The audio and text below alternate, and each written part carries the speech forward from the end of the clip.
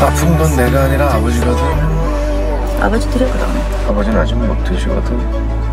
버려 그럼. 버리는 건 내가 아니라 당신이 잘하는 거거든. 고맙다고 해라 그냥. 그 말하는 게 그렇게 어렵니? 아우 있네 내가 먹어.